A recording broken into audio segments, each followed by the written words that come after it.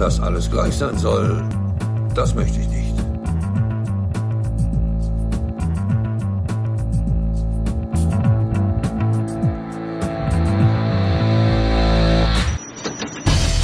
Hallo und grüß Gott zur Folge Nummer 10. Ich muss mich gerade nochmal vergewissern, dass es auch die Folge 10 ist, hätte ich eigentlich äh, vorher schon machen sollen.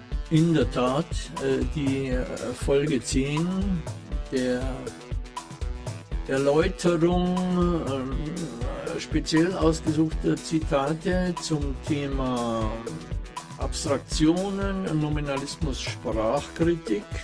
Äh, wir gehen gleich in Medias Res mit der Nummer 47. Einen Gegenstand benennen heißt von seiner Individualität und seiner Einzigartigkeit Abstand nehmen und in ihm den Repräsentanten einer Kategorie zu erblicken. Nun, äh, das passiert, um es jetzt mit etwas äh, anderen Orten zu sagen. Die Sache als solche ist, wird ja im Grunde genommen wiederholt. Ähm, wie sich das abspielt im Einzelnen, vielleicht nochmal. Ähm, der Mensch, ich, du, er, sie, es, hat einen Gegenstand vor sich und äh, kramt äh, dann in seinem Vorstellungsvermögen, in seiner Erinnerung nach dem entsprechenden ähm, Begriff, Wort, je nachdem, ähm, wie Merkmale oder Eigenschaften an einer Sache ihn an dieses oder jenes erinnern. Und dann wird eben dieser Gegenstand mit dieser Kategorie beschrieben und bezeichnet. Jetzt ähm, ist jetzt aber die Situation, in der jetzt jemand konkret sich befindet, äh, etwas anderes, als wenn ähm, äh, und die Beschreibung, die dann jemand vornimmt, etwas anderes, ob äh, jetzt äh, ein, äh, eine zweite Person sich ebenfalls in dieser Situation befindet und äh, sozusagen aus einer Selbstverständlichkeit heraus ähm, die äh, Wahrnehmung bzw. die Beschreibung eines anderen als äh, zutreffend äh, akzeptieren kann.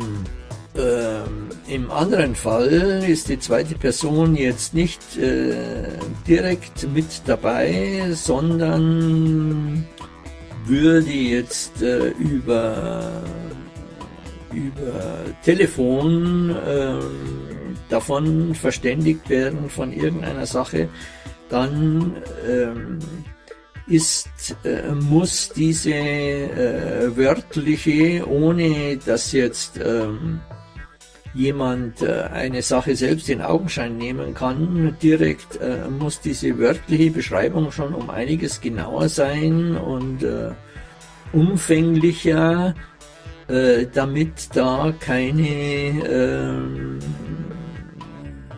äh, Missverständnisse entstehen. Ähm, werden sich bei der wörtlichen Beschreibung unter Umständen einige jetzt am Telefon einige Gegenfragen ergeben, so dass diese dann ergänzt werden muss, um eine, ein Verständnis äh, da herbeizuführen. Wäre jetzt, wenn das Ganze schriftlich äh, stattfindet, noch schwieriger, weil keine direkten Gegenfragen möglich sind. Ähm, also ähm, die, äh, die Abstraktion beziehungsweise, äh, beziehungsweise das Kategorische in den Wörtern äh, tritt umso mehr ähm, in Kraft, sage ich mal, äh, je, je, weniger der, der Sinnesapparat des, desjenigen, der irgendwas zu verstehen hat, äh, daran beteiligt ist. Das heißt, umso abstrakter jetzt die ganze Angelegenheit für jemanden ist, umso äh, weniger wird die äh, spezielle Individualität ist im Grunde genommen nur ein anderer Ausdruck äh, dafür, dass es sich um ein ein ganz besonderes, bestimmtes Geschehen zu einem ganz bestimmten Zeitpunkt an einem ganz bestimmten Raum handelt.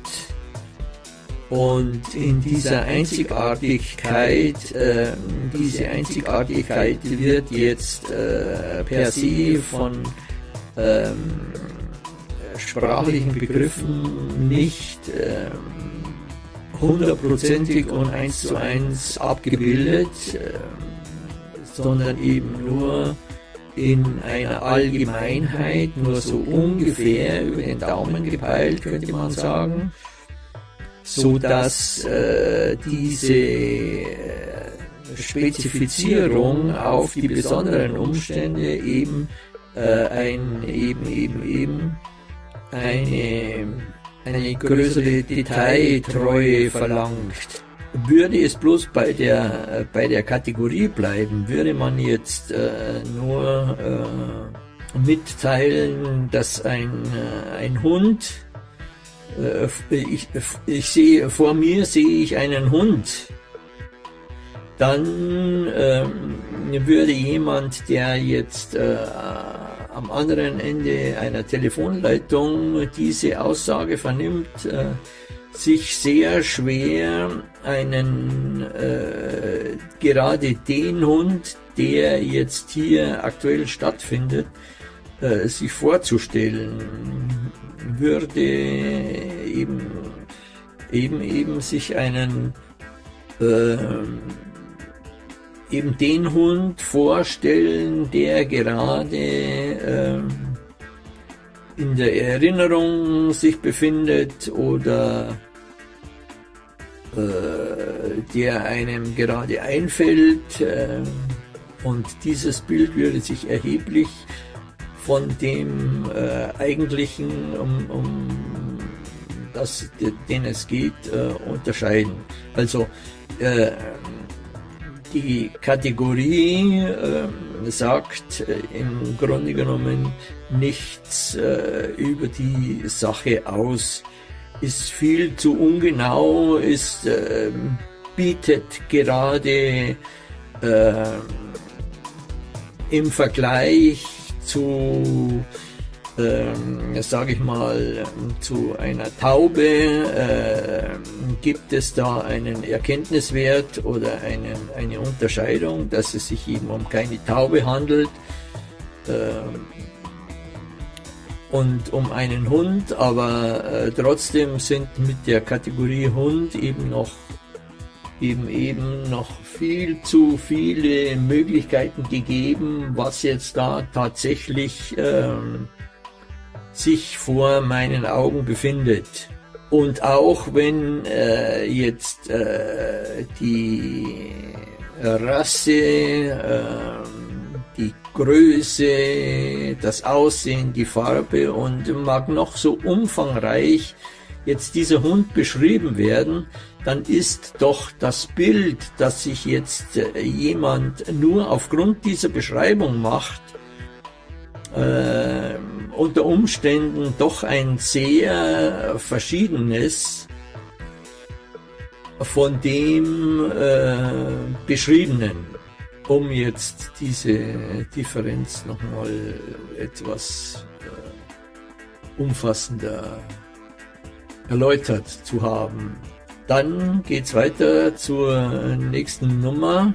Der Begriff ist die Befassung des Verschiedenen und dergleichen. Das Verschiedene wäre jetzt in dem Fall die Individualität des Besonderen äh, vor meinen Augen und das Gleiche die äh, notwend mehr oder weniger notwend größere Notwendigkeit, einen allgemeinen Begriff zu verwenden, der dann aber sehr pauschal wäre, äh, wenn es bloß eben bei dem nur bei dem Allgemeinbegriff bliebe und sehr klischeehaft äh, ohne größeren Aussagewert eben nur im Unterschied zu es kein Elefant ist sondern ein Hund. Aber das wäre es dann auch schon in der Genauigkeit. Ist eigentlich bei dieser Nummer 48 äh, trifft dasselbe zu, was ich äh, in der vorigen Nummer schon gesagt habe. Äh, interessanter ist die nächste Nummer 49. Hier geht es um die Sprachgewohnheiten und zwar wird hier behauptet, dass diese Wahrnehmungen äh, produzieren. Ähm, eine Gewohnheit ähm, im Bezug auf den Sprachschatz äh, wird jemand, der jederzeit sofort ein Wort für eine Sache vor seinen Augen parat hat, äh, würde dann eben seinen Blick eher auf die Dinge äh, richten, ähm, wo äh, der Begriff bekannt ist. Das muss jetzt jeder aus seiner eigenen Erfahrung ähm, überprüfen. Ich denke mal, es könnte auch der Fall sein, dass jemand äh, gerade seinen Blick gerade auf das richtet, äh, was ihm nicht bekannt ist. Äh, je nachdem, wie abenteuerlustig äh, jemand ist oder der immer nach dem Neuen Ausschau hält, denke ich mal, dann ist das vielleicht auch äh, Sprachgewohnheiten verdankt. Ups, weiß ich nicht. Ich denke mal, dass die Dinge, die, für die es keinen Begriff gibt, äh, die dann auch nicht länger in der Aufmerksamkeit haften oder viel weniger die Aufmerksamkeit erregen als äh, die, die sofort äh, eine wo sofort eine Bekanntheit äh, registriert wird. Ich schaue es, schaue mich gerade hier um und könnte jetzt nicht behaupten, dass da Begriffe eine allzu große Rolle spielen. Aber das ist eben eine, eher eine Beschaulichkeit, die äh, weniger etwas intendiert. Es schaut jetzt so aus, als würde sich äh, diese Behauptung jetzt mit dem äh, widersprechen, was ich in der letzten Folge angedeutet habe, dass eigentlich äh, nichts, äh, das immer mit, äh, mit Begriffen wahrgenommen wird, Insofern äh, muss ich die Einschränkung machen, insofern äh, jemand äh, etwas, es auf etwas abgesehen hat, dann äh,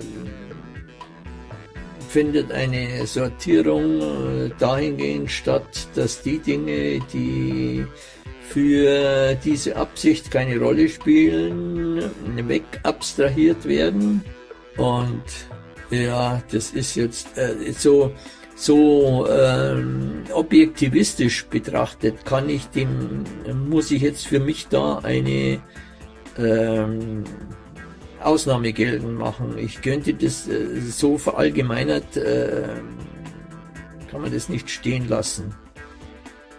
Jemand, der bewusst mit der Sprache umgeht, äh, da wird es nicht der Fall sein, dass äh, er sich äh, praktisch von seinen die, die Aufmerksamkeit äh, lenken lässt von seinen Sprachgewohnheiten. Das ist eher so äh, bei jemandem, ähm, wo diese Bewusstheit nicht vorhanden ist. So wie bei jemandem, der kein Sprachbewusstsein hat, äh, äh, so jemand äh, im Grunde genommen von der Sprache gedacht wird. Äh, dahingehend ist es äh, zutreffend und ich denke mal, ähm, dass dass man dann da auch äh, davon sprechen kann, dass so jemand, der eben über kein Sprachbewusstsein verfügt, äh, auch in, sein, in, in, seiner, in, in seiner Wahrnehmung davon beeinflusst ist. Ja, dann soll es das gewesen sein bei der Nummer 49. Weiter geht's mit der Nummer 50. Die allgemeinen Begriffe entheben uns der zeitraubenden Mühe, uns mit unzähligen Einzelfällen befassen zu müssen. Das ist der Nutzenaspekt, der, äh, also um nochmal äh, Missverständnissen vorzubeugen, es geht hier nicht darum, die Verallgemeinerung oder die Abstraktion zu verteufeln. Ähm, es geht nur darum, ähm, die, die logische Verallgemeinerung nicht als Nonplusultra beziehungsweise als Wahrheit an sich äh, gelten zu lassen, als absolute Wahrheit, die nicht äh, bezogen ist auf ein, einen konkreten Menschen, der äh, ganz bestimmte Dinge denkt, sieht, wahrnimmt und dann auch zu seinen Schlüssen kommt. Äh, das ist der Punkt. Aber äh, dass die Sprache nützlich ist, es ist überhaupt keine Frage und damit auch die Allgemeinbegriffe ist nichts anderes wie auch in der Technik wird, äh, werden Maschinen werden genau aus dem Zweck herausgebaut, dass äh, einzelne Abläufe, äh, Arbeitsschritte automatisiert werden, verallgemeinert werden und so äh, eine Arbeitserleichterung stattfindet. Das ist jetzt auf sprachlichem Gebiet genauso der Fall. Bloß sollte man eben immer wissen, aus welchen Gründen jetzt verallgemeinert wird äh, und sich im Klaren sein, dass äh, dann diese viele Einzelheiten für eine bestimmte Sache keine Rolle spielen und deswegen äh, vernachlässigt werden können. Das äh, muss aber jemand bestimmen, das muss jemand beurteilen, das muss jemand entscheiden. Und die Frage ist dann immer, äh, es geht dann letztlich um die Machtfrage, ob jemand äh, unter Umständen über andere dann Entscheidungen trifft, äh, die jetzt äh, in einer bestimmten Sache äh, gar nicht äh, einer Meinung sind und etwas ganz anderes äh, weggelassen haben wollen. Und das ist dann eine ganz andere Diskussion, wenn es um Interessen geht, die jemand hat. Da äh, geht es jetzt nicht äh, um eine absolute Wahrheit oder vielleicht jetzt in dem Fall was den größeren Nutzen bietet, um dann zu einer Entscheidung zu kommen, das ist dann wieder eine ganz andere Diskussion und hat ganz andere Voraussetzungen, die dann konkret geklärt werden müssen. Das ist, äh, steht dann auf der Probe, ob jetzt äh, jemand äh, diese oder jene Methode bevorzugt, dann wird es eben ausprobiert und dann sieht man das schon.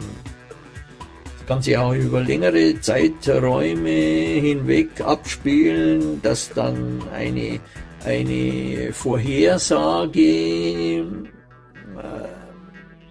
beziehungsweise jemand dann schon noch abstrakter denkt und sagt, ja, das ist jetzt hier kurzfristig, aber längerfristig äh, wird es sich dann eben doch auszahlen, dass diese Methode verwendet wird. Dann wird es unter Umständen länger dauern, bis dann äh, sich herausstellt, welche Methode die bessere ist.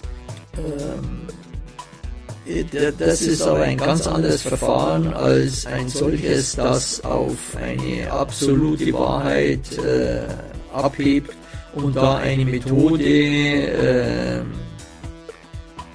es eine Methode verlangt wird, äh, die man zu befolgen hat von irgendjemandem, der jetzt äh, 5000 Kilometer weiter weg äh, ist und eigentlich von den speziellen äh, Umständen vor Ort gar keine Ahnung hat, äh, dann will, dass man diese befolgt. Das wäre dann äh, noch die höhere Abstraktionsform oder es gibt sogar einen Papst, der unfehlbar ist und der sagt dann hier so und so geht es, muss das gemacht werden und ist keine Widerrede. Es, es wäre ähm, noch abstrakter, die ganze Angelegenheit, beziehungsweise es bestimmt einer allgemein die allgemeine Geltung für alle. Und um das geht's, dass das nicht stattfindet, äh, dass über die Köpfe der Leute hinweg etwas entschieden wird und die subjektiven Erkenntnisse oder die subjektiven Wahrheiten dabei äh, keine Rolle spielen. Jetzt haben wir noch mal äh, einen Rekurs auf die Wahrnehmung von oben. Äh, vielleicht gibt es jetzt einen größeren Aufschluss für die etwas holprige Erklärung, muss ich zugeben, unter der Nummer 49. Max Weber, Aufsätze zur Wissenschaftslehre, die Einschulung des Auges auf die Beobachtung der Wirkung qualitativ gleichartiger Ursachenkategorien und die stete Verwendung des gleichen begrifflich-methodischen Apparates bietet alle Vorteile der Arbeitsteilung. Ähm, wie schaut es jetzt aus mit der Einschulung des Auges auf die beobachtete Wirkung? Das ist auf alle Fälle, kann ich dem äh, zustimmen dass die äh, beobachtete Wirkung jetzt hier eines Zimmers, äh, dass hier nichts, äh, wenn jetzt äh, kein irgendwie Fenster offen ist, äh, das Durchzug ist, äh, wird sich hier nichts bewegen und davon gehe ich aus. Also die das ist, habe ich beobachtet, dass hier von keiner äh, keiner Bewegung auszugehen ist. Und wenn, äh, wenn jetzt äh, irgendetwas abgestellt wird, äh, worden ist und das äh, ist jetzt nicht, äh, wie soll ich sagen, vertikal zur Abstellfläche platziert, ähm, dass das eventuell die Möglichkeit besteht, dass es äh, rutscht und auf, das, auf der Seite wegrutscht, dann kann es mir passieren, dass dann äh, halbe Stunde, Stunde später auf einmal äh, irgendein Knall in der Küche ist, ist äh, der Gegenstand umgefallen. Aber äh, das wird mich dann wird mich dann erschrecken, je nachdem wie laut das ist. Es ist auf alle Fälle ungewohnt und wird mich aus meinem, meiner, äh, meinem momentanen Bewusstsein herausreißen. Aber das ist jetzt hier auch nicht gemeint. Hier geht es bei Max Weber um den Wissenschaftler, um den Forscher, der die gleiche, gleichen Begriffe verwendet und äh, das bietet alle ähm, Vorteile der Arbeitsteilung. Äh, gesetzt den Fall, es versteht jeder dieser Forscher unter einem Begriff dasselbe. Es sind da keine großen Unterschiede. Dann, dann kann ein anderer Forscher unter den gleichen Voraussetzungen, weil er den Begriff dementsprechend äh, versteht, auch ähm, im Sinne des, äh, der, des Forschungszieles dann mitarbeiten, so dass dann äh,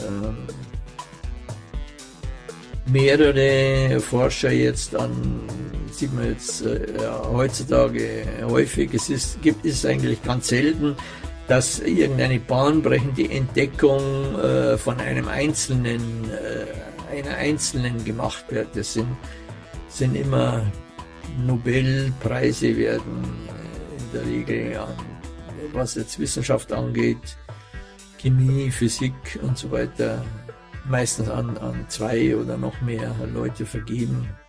Ähm, äh, inwieweit äh, hat es, das ist da jetzt der Bezug zu unserem Thema da? Das wäre die Sache der Einschulung mit, mit dem, äh, mit dem Konservatismus oder der,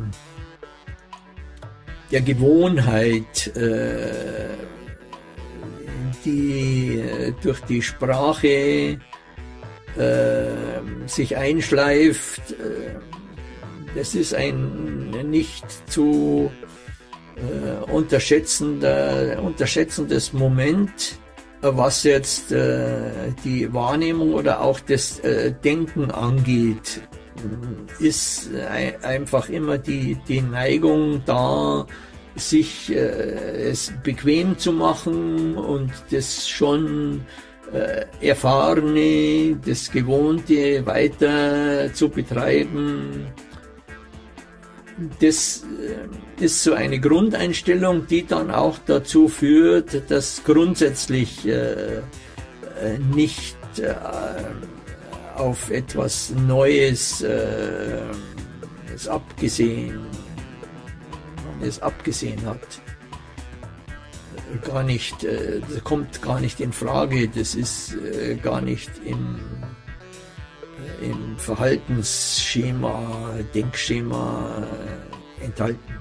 Und äh, die halbe Stunde ist schon wieder rum, schon seit zwei Minuten.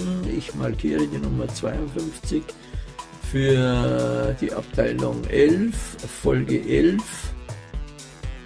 und verbleibe bis auf weiteres äh, ein Peace und out.